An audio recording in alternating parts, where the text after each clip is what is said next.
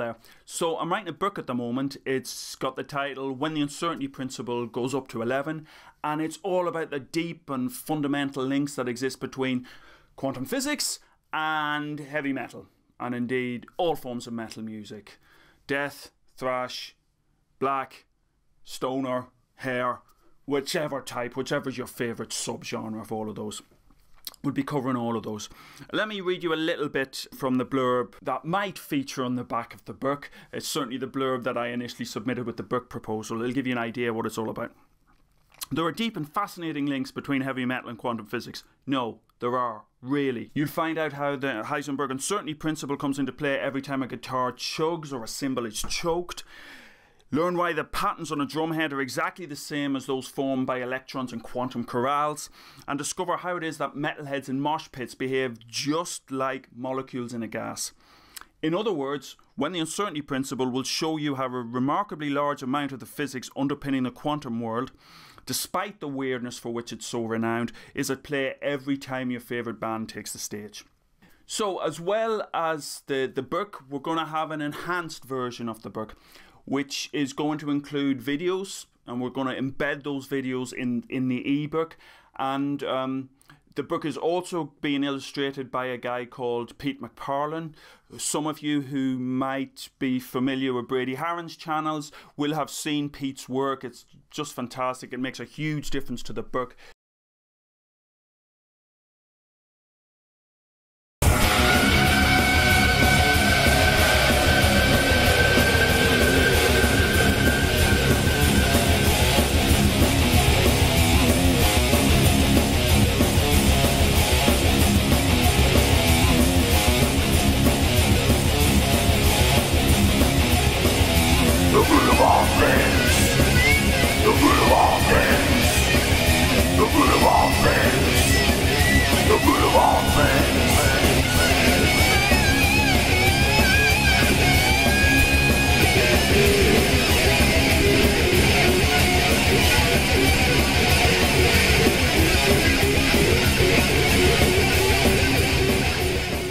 Every time I get some new um, illustrations from Peter, it's like, oh, really excited. He does such a good job in translating what's rather garbled in my brain into a nice, easy to understand um, illustration diagram. And he's got a real quirkiness about it. So this is going to be a taster of the types of video that we're going to embed within the ebook. Before introducing the concept of waves on strings and the concept of waves in guitar strings and how that couples into what's happening right at the quantum level, I wanted to introduce waves much more generally and much more fundamentally. And so what I really wanted to do is to look at the, just the fundamental origin of a, of a sine wave. Where does the sine come from? You'll have heard of sines before when it comes to trigonometry and angles, but then when we have a sine wave, how is that coupled directly into the sine of an angle? Where does, where does that come from? Why do we call it a sine wave? Why is it a sine wave? So let's look at the mathematics of circle pits. So here we have a pit and we have a marsher. Let's call her Marcia, dashing around the outside of the pit in a admittedly fairly unusual perfect circle. So her starting position here will be 0 degrees and she'll dash around to here 90 degrees then dash around 180 degrees 270 degrees. So if we put run that as a little animation it looks like this she's following the circle round. Okay, so fairly straightforward, perfect circle, moving around through 360 degrees each time she runs round the circle. How does that have anything to do with sines? Well, let's just think about this a bit more carefully. So Marcia starts off again at zero degrees. Let's have her run this time, not the whole way around, but let's have her run through up to 45 degrees. So she gets there. So that's a 45 degree angle. And what we also note is that we can make a measurement of how far she's moved in the x direction and how far she's moved in the y direction. So here she's got no um, movement at all in the y direction, but in the x direction, well, she's got the radius of the, she's out from the centre of the circle by the radius of the circle. Here she's moved round. Now she's moved in a little bit in X, but moved up considerably in y. And so she's what we call subtended an angle, and that angle is theta. The sine of this angle is the opposite over the hypotenuse. So this is a right angle triangle. Here's the hypotenuse, and here's the opposite side to where that angle is. Now, importantly, what we can do is we can just set this, say this is a unit circle. That means we can say that this is one meter, for example. Okay, they'd have to be extremely small marshers, but maybe they are. Maybe it's sort of like a Lilliputian or circle pit. But let's just say, for sake of argument, that from here to here, the radius of the circle pit, or the radius of the circle around which Marsha is dashing, is one meter. That means that the sine of the angle is this length divided by 1. And as you know, any number divided by 1 gives you that number. So what this represents as Marsha dashes around, it's certainly the sine of the angle, but if we make this equal to 1, then what it actually is, is how far she's moved up in the y direction. Now we could use another function, something called a cosine, to get how far she's moved in the x direction. And here's how that sine function varies as you go right across the circle. Here's Marsha's current position, which is 45 degrees, midway between 0 and 90 degrees. So this is where she is in terms of the sine function. So this length, this length in y, this in the y direction, is represented by the position of this dot. She runs round to 90 degrees, you see it's 1, which is what we'd expect, because if she's here, then in terms of the y direction, in terms of the y distance, this has got to be 1 because it's a radius. Once she gets to this point, She's she's one radius away from the centre in the y direction, so it's got to be one. And then she moves around, comes around to 180 degrees. How far is she now in the y direction? Well, she's back to zero again, which is why we've got zero here. Moves around to 270 degrees, which is the opposite of here. So here we've got, let's call this the zero line. Above the zero line, positive values. Below the zero line, negative values. So here, she'd have 1. The other side, she is minus 1. So it's symmetric, and all that's changed is the sign. And then she dashes round and gets back to 0, and the whole thing repeats. Okay, let's hammer that point home. So here's Marsha. She's at that 0 degree position again, 0 degrees angular displacement, as we call it. This red dot's going to represent her position in terms of the sine of the angle as she moves around. So she moves from 0 to 45, etc., etc. So she's going to do this quite slowly this time so you can just follow it through. So she's coming round, gets to 45 degrees as before, now coming up to 90 degrees. Sine function is 1, moving through, coming to 180 degrees, getting ever closer to that line. So 0 now, back round again. Now she's into negative numbers because she's on the other side of this dividing line. Now she's coming up again and she's going to repeat the entire cycle, get to zero, and then continue, etc. Let's just speed that up a little bit, see what it looks like. You get the idea. What's absolutely remarkable, let's stop um, Marsha running before she gets too dizzy.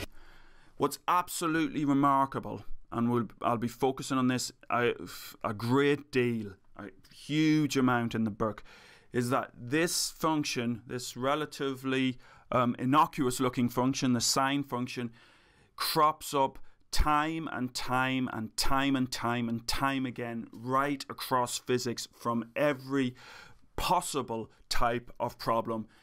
At some level, this sine function is going to feature. And in fact, the true genius of a man called Fourier, who we're going to look at his work in quite some depth in the book, is that he worked out that you can make up any pattern, any function. Okay, not every pattern and not every function. Mathematicians might get a bit irked at me when I say that.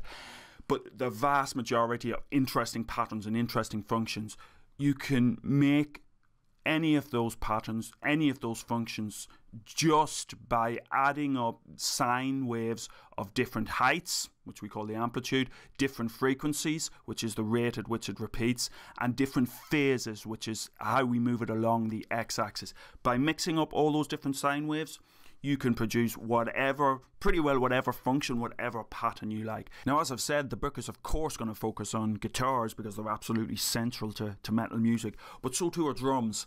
And in fact, if we look at the motion, at the dynamics of the bass drum beater, which you could argue is pretty important in, in a great deal of heavy metal. We're going to do a simple experiment to measure the dynamics of a bass drum beater, and what we're going to see is that the sine function falls out yet again. Despite the fact that we're not talking about Marshers now or a circle pit, we're talking about a very, very different system, and yet the same mathematics describes it. And the way we're going to measure the motion of the bass drum beater is, well, you can see in the end here, I hope, let me see if I can get that right. You can see in the end we've got a we've got a mirror. And what I'm going to do is I'm going to bounce a laser, just a laser beam from a simple laser pointer off the end of this and by tracking what the laser does we've got a very accurate way of tracking the motion of the drum beater. So at the moment you just have to take my word for it that the laser beam is going from here, hitting a mirror here and then ending up on the wall over there. The problem is there's nothing at the moment there that will scatter the laser light to our eyes. So, we, you know, we can see the laser beam when we put something in the way and that light is reflected, uh, uh, scattered into our eyes. But without it in the way, we just don't see anything. So it would be really neat to be able to see the laser light path so we can see it at different points. But it would be good and quite cool really to see to be able to see that laser beam.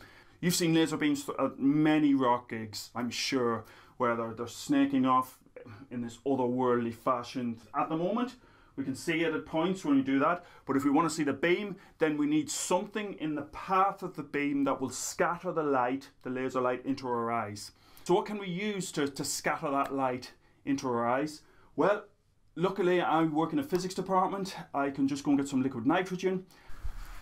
Now, at the moment you obviously can't see the laser beam, but we can visualize that laser beam by using a little bit of liquid nitrogen. So we bring the liquid nitrogen in and hopefully you can start to see that laser beam appearing.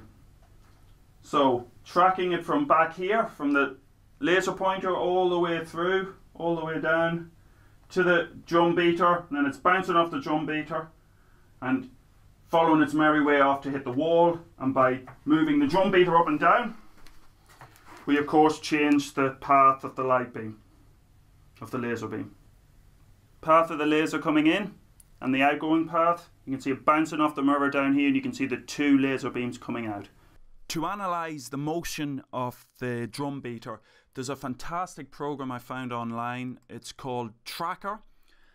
As you can see, it's part of the open source physics written by Douglas Brown. This is just a really wonderful piece of code. And what you can do is, well, I'll open up the video of the drum spot. Okay, so here's our video. And you can see the, as before, the spot merrily bouncing up and down as the drum beater moves back and forth. Great thing about this program though, let's move that right back to the start, is we can just track new. So we're going to just treat it as a point because it's Okay, it's a bit of a blob, but it's it's we can treat it as a point. And now what we can do, which is quite neat, is we can mark the position of that blob and as we do that, let me just change that to Y, what we'll see is the Y position and we can map that out as a function of time. So let's do that. And you can probably guess what type of graph we're going to get. I'll try and do the center mass of these points.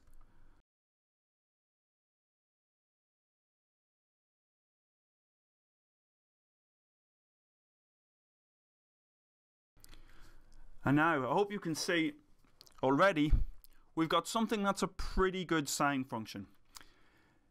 Now, we could just leave it there, but what I want to do is just continue on tracking this because there's a bit of a difference between this and the, and the circle pit in that with the circle pit we, if we assume that Marsher the mosher just keeps running round and round and round and never loses energy, then everything's fine and that sine continually repeats. In this case, however, it's absolutely clear that the beater is losing energy because it comes to a stop. The drum beater comes to a stop at some point. And so we should be able to see that as we um, continue to plot out the motion of the beater. So let's keep doing that. Let's add a few more points onto this. Thank you.